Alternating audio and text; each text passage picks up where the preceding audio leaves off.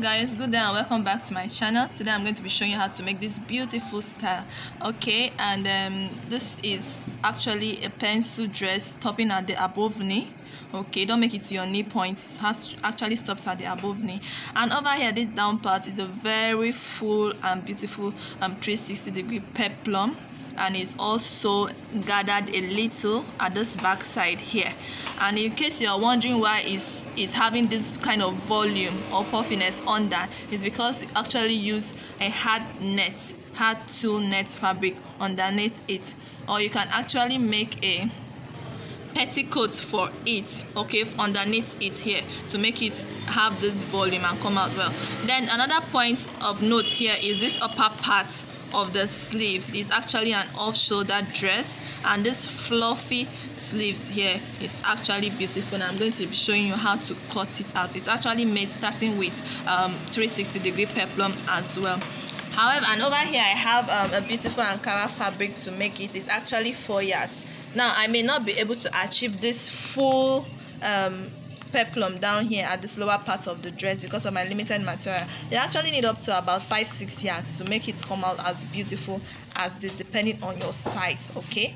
And of course for the fluffy up, uh, upper part of the sleeves there i have also my bridal and um, doll face satin satin fabric. Actually is I recommend you use satin fabric for this upper part of um, the dress. Alright, so let's go ahead. The first thing we'll be making now is the um, major bodice, our dress, okay? then before the fluffy nature and then the fluffy sleeves and then the down part of the dress so guys um, for the bodice of the dress I am not going to be making any bustier dress I'm just going to be making a princess dart straight um, dress from the shoulder line to the above the knee line. Now above the knee is not stopping at the knee line, knee cap exactly for those of you who are just familiar with the word above the knee.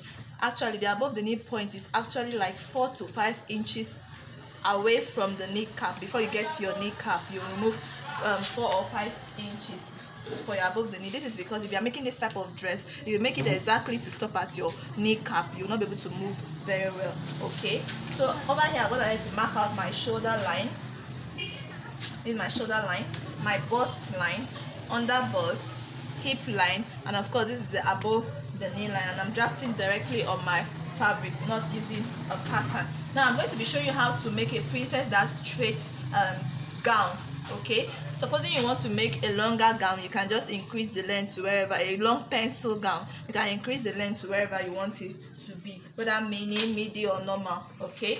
So i'm going to be showing you how to make a full shoulder um, princess dart straight blouse and um, dress without the bustier. And i'm also going to show you the main one that we will be using for this style of today which is also off shoulder. So for the full shoulder first and foremost we mark out our shoulder length. And from here is um, for me it's actually seven inches which is also called across back the shoulder span. And from there I will mark out my armhole. Please use your French curve for this have any. Then the next thing i'll do is that from my bust line down to the above the knee line or your full length line in case you're making a longer dress i'm going to be marking out my bust span okay?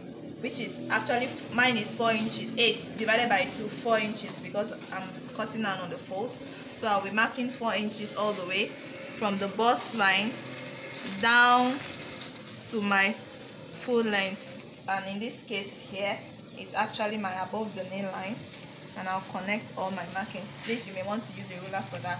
For those of you who don't know how to effectively curve a princess dart, what you do is that whatever is your bust span here, which is for you come to this full shoulder line at the armhole side here and also mark out that four inches from the full shoulder down along the armhole line. You mark out four inches and then try to draw a curve, okay, to meet back to this your dart line and there you have your um, full um, princess dart line here.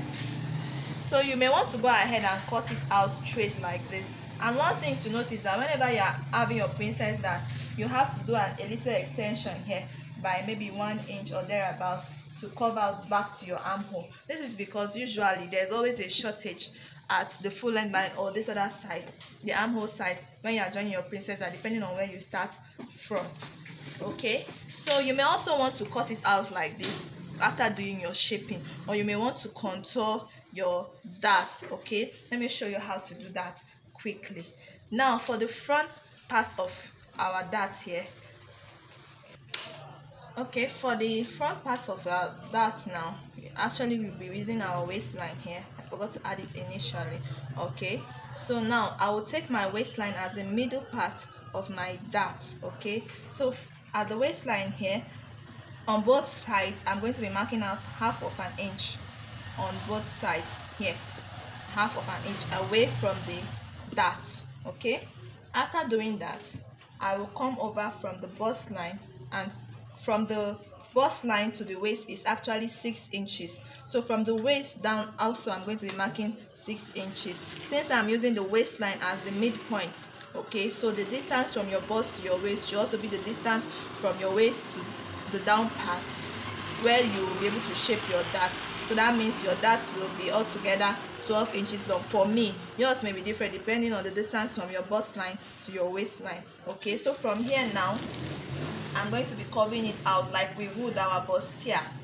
Okay we are making a bustier but not exactly like that.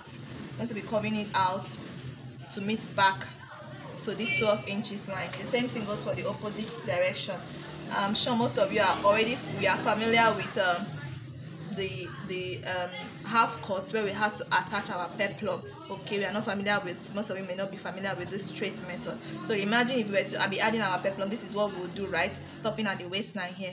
So the opposite thing is what you'll be doing for this down part. Stop. It's not really ideal to make it all the way down to your hip because it will not balance well with this half cut that we are using our waist okay for the half width, width of the length of the dart the next thing you want to do now is you may also want to contour this armhole here this other side of the princess dart with half of an inch okay or even up to one inch to curve it. Remember we are not going to be using any bustier so you may want to curve it to meet back with this princess dart line instead of using it exactly the same. But however like i said before you can do your bodice without this contouring of that and it will still come out well. If you are doing your bodice without this contouring of the dart all you need to do is your if your waist round waist you take your actual round waist from this middle point. Let me say your round waist divided by four is eight inches. You just come and take eight inches.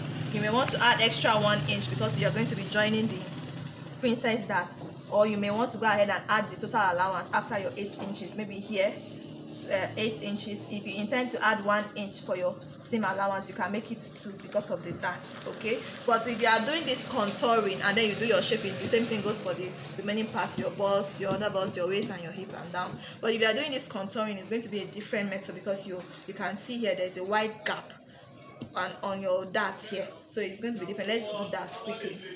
Now this dart on our bust line here is exactly the same so there is no need of us taking any precaution. There we are going directly to our round bust our round bust here is eight and a half plus. Let me add one inch extra because of um, the princess dart joined. That will give me nine and a half. All right? So i'll be marking nine and a half here. Now on my under bust line also the dart contouring of the dart is not affecting it. It's still on the same line. And my other bust measurement is seven and a half. I'll add one inch only. That will give me eight and a half. And i'm going to be marking it here now getting to the waistline there is a big difference here because of the contouring of the dart. So what am i going to do now? My round waist is seven inches. I'm going to be dividing that seven inches accordingly. Now for this middle part here how many do i have from this dart to this middle front here? I have three and a half. Okay now so seven minus three and a half will still give me three and a half. Okay so i'll be coming over to this line now to mark out the remaining three and a half if i were to take out seven exactly you or add my one inch you can see where to stop. Seven my in my round waist is seven plus one for the dart. You will see where it see where it stops here eight inches. And it would have been giving me a smooth and beautiful shape here. Okay but because of this contouring of that you have to extend it okay? You have to consider it. So that's why my shape is now coming this way on the waistline. By the time i finish joining this dart i will have a perfect shape it will come back okay? Now i go back to the hip. The round hip for me for this client is nine inches and there's no dart whatsoever here. So i'll be taking 10 inches because of the um princess darts here. 10 inches. And of course depending on how tight you want it to be at the above the knee point here whatever you have at your hip level round hip you minus one or two inches the more inches you minus from it the more tighter it will be at your knee cap level. So if you know that it's not be convenient for you one inch is enough and i'll be working with one inch. So on my round hip here i have 10 inches. That means on my above the knee line here i'll be making it 9 inch to give it that beautiful shape. And then you want to use your hip curve for this place. But if you know you can work with your free hand like me you can go ahead and do so. All right so this will become my shape. I'm going to go ahead and add my allowance okay. I'm adding just two inches allowance for this. Okay. My clients always like enough allowance in their dress. Also saves you the trouble in case there is any shortages or mistakes. So this is my same allowance now that i've added to it. So the next thing now is this is for full shoulder. If you are making a full shoulder neck you just come here and then i usually mark out three inches of my shoulder and then whatever shape of neck you want to give to it you mark out your neck depth maybe five inches maybe if it's a round neck it will go like this this way and then you cut out your border lines that will give you a full shoulder princess dart straight um, dress okay? But now we are making an off the shoulder. How deep do you want to off the shoulder neck to be? Um, i'm going to be using six inches for the depth you can make yours. If you want it to come down very well you can make it up to eight inches. Mind you this is your bust line so the, you you also be checking how the distance between your bust and your neckline so that your breast will not be too exposed. However if you look at this style very carefully this fluffy um, sleeves there is coming up is coming above the actual neckline so you can go ahead and make it low then the fluffy sleeves will cover up okay for it to go up at the end of the day. All right so for me six inches is enough. Now this six inches here i've marked it in the middle front of my neckline here. Now from this princess dart side here i'm going to be curving it in just like this. To give me my round of the shoulder neckline and then I'll go ahead and cut out on the border lines remember if it is a full shoulder you don't need to draw this line. All you need to do is to cut out here now. But since it's an off shoulder I will be leading this part I will be leaving from here. Downwards so I'll go ahead and cut out. So guys I'm done cutting it out on my border lines as you can see. The entire this entire part is going out okay? And uh, remember this little part here that I contoured out of my dart is also going out. And of course this middle part also is going out. So this will make my front uh, part of my bodice I will go ahead and do the same thing for my back piece. I may not put this contouring at the back piece and I also ensure that the back has uh, one inch at the middle front side for the zipper allowance. That will just be the difference between the front and the back. I'll go ahead and cut it out and then show you. That so guys this is the back piece. As you can see i made that very straight like i was trying to explain earlier in the other parts for the front piece. You can also make the front piece straight like this or you may also want to just contour it but this uh, time around if you are contouring the back piece it's just a v shape you don't need to curve out this bust area like i did with the front. Just a v shape to the waist and then v shape back downwards. Okay that's how it's going to be. But i'm not going to be doing that here. I can work with it like that. And um, if i'm placing the front piece on it you can see it's the same. All right. Okay and you can see the difference in the contouring of the front from the back all right. And um, the next thing i'll go to um, i'll be doing now is to place these patterns these fabrics now on my linings. Cut it out sew the entire bodice before making the down part and of course the puffy and the ruffles of, of on the neckline the sleeves okay? And um for me if i'm making that kind of a neckline especially now that it's off the shoulder i'm going to be attaching a small sleeve band to it before making it. If you want to go ahead and make it directly without making a small sleeve to it it will be very difficult for you too. So to ease the stress and the process you just have to make a small sleeve maybe like um, three inches wide or two inches even wide so that you have something to work with that will help you. All right so go ahead now. Sew the entire bodice and then i'll show you the next step. So guys i'm done. I, can see here that i fixed a small straight sleeves of the shoulder sleeves and of course i've done the back, uh, down part of my dress as well. Turning it to the back you can see here that i made a little gathers at the middle back line here at this down part to give it that effect. I have not yet added anything underneath. I need to add my hard net and lining to give it that full um, figure that it has and I'm using 180 degree peplum. That is half a circle peplum here. You can use um, full circle peplum if you do. And over here I fixed my zipper halfway like um, five inches away from my or six inches rather away from my original neckline. This is because the other puffy sleeves is going to be coming in and then my zip will be going on top of it. So i want to give that space.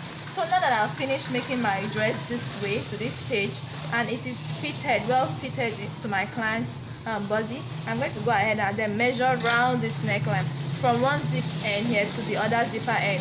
It should be around 40 inches or thereabouts for an average lady okay? It's usually around 40 inches. Okay here i'm having 43 inches because it's really off the shoulder okay? It's really off the shoulder so i'm having 43 inches here. So now i'll be using that 43 inches as my circumference okay to cut out my tree so i'll be using that for 43 inches. As my circumference to cut out the upper part of the sleeves. Okay now that upper part of the sleeves is being made first by you cutting out your full circle. That's your three that is your 360 degree peplum. You need to cut it out. So in case you don't know how to fold your 360 degree peplum um, you have to know how to do that okay? Now before we go ahead let's calculate. Now we said our circumference of the round neck is 43 inches. If you divide that by the constant 6.28 that will give us 6.84 we can actually approximate that to actually 7 inches. So now 7 inches how what should be the length of our peplum? Um if you want the peplum to have the the sleeves rather that puffy sleeves to be more um, fuller you can make it up to like 10 15 inches okay? But if you want a smaller puffiness at the sleeves you can take maybe five or thereabout. I think i'll be going with 10 10 will be enough for me. So 7 plus 10 that will give me 17 all right so i'm going to be making my fold now for my 360 degree peplum okay? This is 17 okay? So the first arc and the length of my peplum everything i need to make my 360 degree flare is 17 inches. So after folding it into two like this to give me 17 inches i'm still going to fold it again into four. And this part also should give me 17 inches as well. So it's going to be giving me 17 by 17 if it doesn't give me that i'm going to adjust it until it gives me that. So here i'm having 17 and also here i'm having 17 so i'm making a square now 17 by 17 make sure that everything underneath is very okay. So like i said before the arc my first arc here is going to be 6.8 which i have approximated to 7 inches. So i'm going to be turning here at this part where the this edge is closed and this other edge is closed. Don't use the open edges from this middle point here. Okay seven all the way till I get to the other end. And here I go this is seven inches round. Okay I want to ensure that I'm having seven inches very well. Okay and I said the length of my peplum here should be 10 okay so I'm going to be that's 17 here. Okay from the beginning here I'm going to be taking 17 also all the way around so I've gotten 17 here. Then I'm going to be cutting this out cut it out here and then here as well to give me my circle. But before I do that I want to ensure that this is going to give me the round circumference of my shoulder which I just measured which was 43 inches. Now this is folded into 4 and over here I'm having um, on this curve I'm having 11 okay? So 11 times 4 will be giving me 44 and meanwhile I have 43 is a good thing so I'm good to go. I'll go ahead now and cut it out. So this is my peplum now that I've cut out my 360 degree peplum. Okay so before I open it completely I'm going to do something. Okay as you can see now that it's on the fold all right? So I'm going to be giving a mark. I usually call it nudging at the these four edges. Okay in geography we'll call it the four cardinal points your north south east and west okay? All right so by the time i open this you can see the four sides of my peplum have been nudged the north south east and west okay? But because it is having a zipper at the back so i'm going to be opening one edge of it like this. I'm going to be opening it this way okay? So now how do you achieve that style? Now this is so that's you have to very uh, pardon me i also forgot to nudge the down part okay? Just as you are nudging the upper part okay? You also nudge the down part as well. Give a mark in there to know the down part as well. So these are the down parts. I'm also going to be nudging them. Okay. So you nudge them as well. And remember this other side is already open so there will be no need nudging the open side. So I've nudged it and I'll open it. All right now so this is the middle part. Okay. So I'm starting. Let me turn it so that you see very well. Okay. So this is the middle part and this is the middle down part. So I'm starting with the middle part first. So here now I'm going to be folding it. Now this is the bad face of the material. This is the good face. Okay facing down. So the good face. Now bad face is going to be the bad face. As you can see I used 10 inches. So you can see when I folded it into two. See how smaller it is now. So that is why I said if you want a smaller sleeve you use like 5 to 7 uh, 10 inches. But if you want a, a very fuller and bigger puffy sleeves you use 10 inches above. You can even make it up to 20 depending on how dramatic and big you want it to be. So I'll pin the down parts cardinal points together okay so this other side as well. Okay we'll be meeting this side too. Okay. I'm pinning it there together. Okay and these edges. Okay we'll meet this edge as well. I'll pin it together. All right so I'm done with this part. I'll come over here too. You have to nudge the upper and the lower part of your cardinal points when it's on the fold when you fold it into four. That's the way you can achieve this. And also this edge here I'm going to be pinning it together. Okay. All right. So you can see that I have excesses here in between each of the cardinal points. Now what I'm going to be doing with this excesses is that I'm going to be doing my gather okay? From this one pin to the next pin. I stop. I do my gather from this pin again to the next pin all the way here. This other edge not the middle part. This edge that is on the excess that's where I'm going to be doing my gather so you may want to start from the other end but I I prefer if you do it individually. Do not do one straight gather from the beginning down to this other edge. No. Okay? This is what I'll be doing now. Just watch me. From this pin here I'll start making my gather using a running stitch I'm using my needle and thread okay? I'll make a gather till I reach this edge and you are not to make your gather together with this other lower part that you pinned. The the lower part is only for the cardinal points. You only make your gather for this other downward part of your flare okay? If you make it together then you are making a very big mistake because as you can see they are not equal. Here is shorter here is wider. So we are making a gather for this wider part which is the lower part so that it can be equal with this side that will stitch together. So you i'm continuing to make my um running stitch to form my gather all the way till I get to the end. There.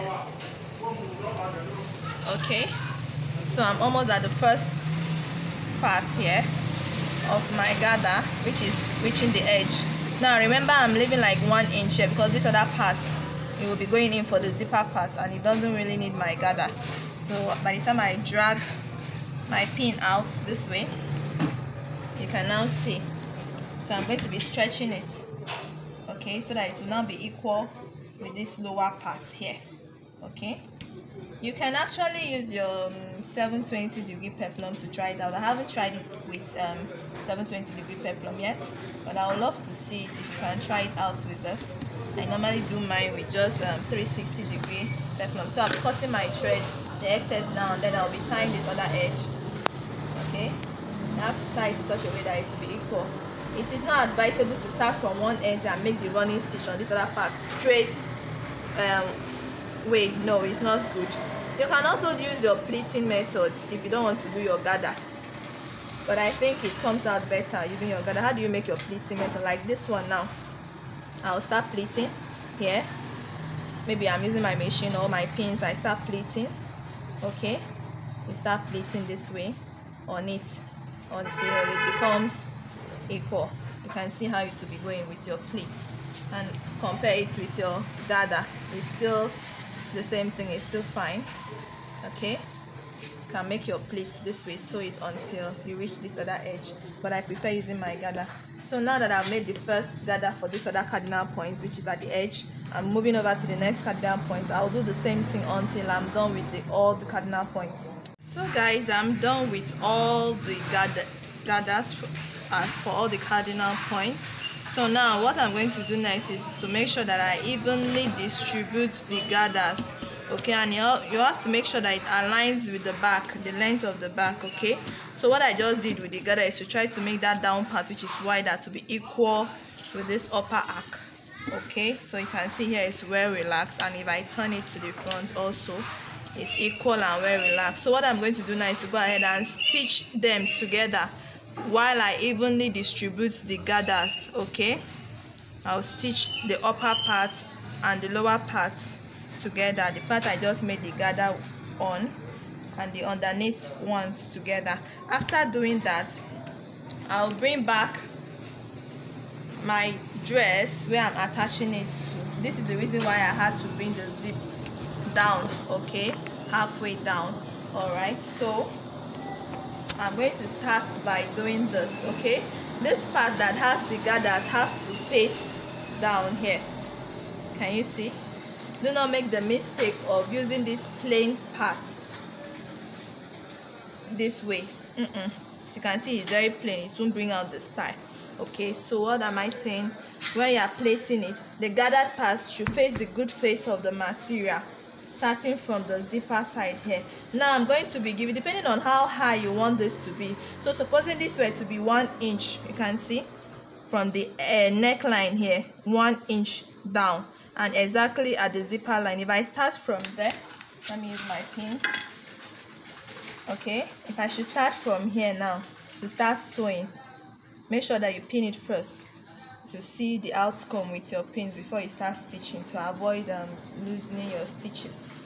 Okay?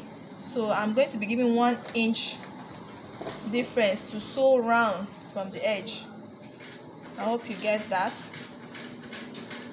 So by the time I pin it round by one inch from this edge now by the time I'm opening it okay you can see I'll try as much as possible to make it a little bit higher you can see this way is higher like three quarter of an inch higher than the neckline.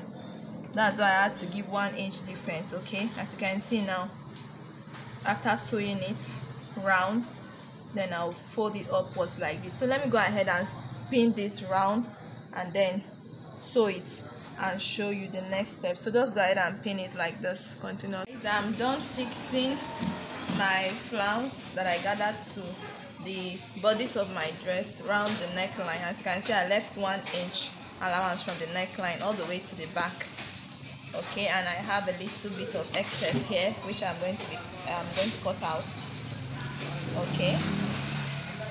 Cutting out the excess now. So how do I go about making this all right so the first step to do I'm going to be starting with the front middle front side okay? So I'm going to be lifting it upwards this way while I open it into two like this. I try and open it make it wide. Okay now this is a very small um, version of that. If you want to achieve exactly as it is in the picture there you have to make your peplum. Remember when I was cutting mine I made mine 10 inches wide long rather. So you have to make yours like 20 inches 25 inches. The more longer the peplum is the more fluffy and fuller it will be okay so i'm opening it i'm widening it up opening up to cover this neckline initial neckline that i did. Okay something like this and then i'm going to be pinning it which of course later on i'll be stitching exactly where my pins are. Okay so you're going to go ahead and be doing it like this all the way around let me just make the fronts for you so you can see how it's going now. This is just a smaller um,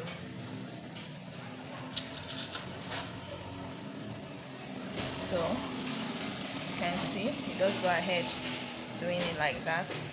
So you see that you actually needed your smaller um of the shoulder sleeve so that it will not be too difficult to achieve this style so you still need your off the shoulder sleeve a small banded of the shoulder sleeve. So you continue this as you can see it's forming the puffy sleeves already. So i'm going to go ahead and pin it all the way around and then i'll show you how to stitch it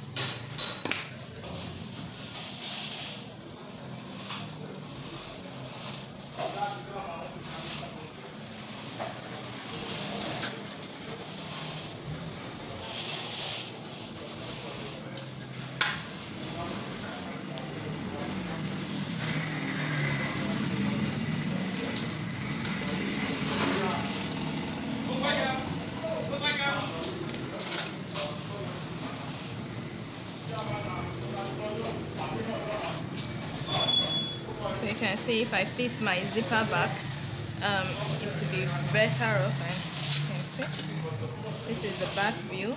You, are, you want to check for any more pinnings if you want to pin more.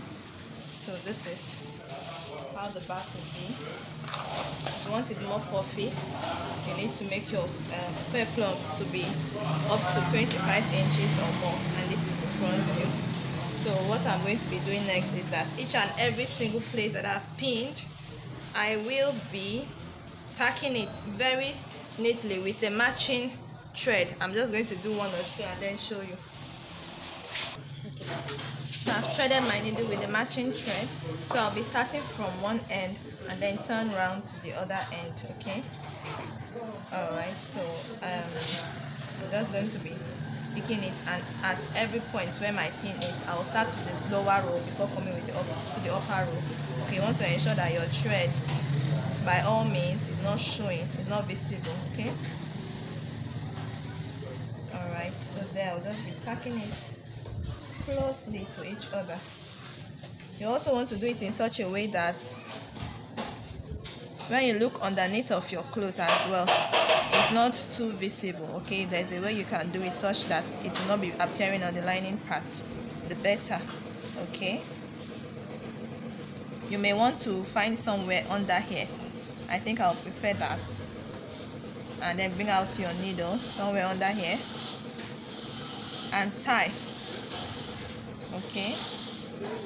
Before you move on to the next stage you tie it like this. Okay. And then cut it out. All right you can see it's covered before. Coming over to the next point where you you attach your pin. And then repeating the process all over again from point to point I'm just like trying to get away where my work here will be very neat. Just a little pinch okay so that it's not too visible underneath. You can see this one is not even visible at all okay? So just a little pinch. Maybe twice will be enough okay? And then you pass it underneath. This time I pass stitch there twice and then I'm going to be tying it there at this point. Again then cutting out my thread and needle. Then move to the next point. Okay just like this. I'll continue that way till I'm done with all the points. And that is how you'll be able to then you when you're done you come back here and then sew back your zipper normally as it should all right and that will be all for the upper part of this dress. Now for the lower part okay like i said before i'm not making exactly that lower part. I just make a normal half circle um flare because i'm using a limited material okay? And for the back as well I made sure that my peplum was a little bit excess where I did a little of pleating here. You want to achieve that full nature of this dress according to how it is in the picture. All you need to do is to add your net underneath. You just make gathers of pleating of your hard net. Okay, two net underneath and then add your lining also to make that dress come out the way it is. And of course do the hemming for the full length side of your dress thank you guys for watching. I hope you enjoyed this tutorial. Please subscribe to my channel. Give us a thumbs up. And also join us on facebook. You can find us on facebook at belwin creations academy. All right till i come your way again next time. Bye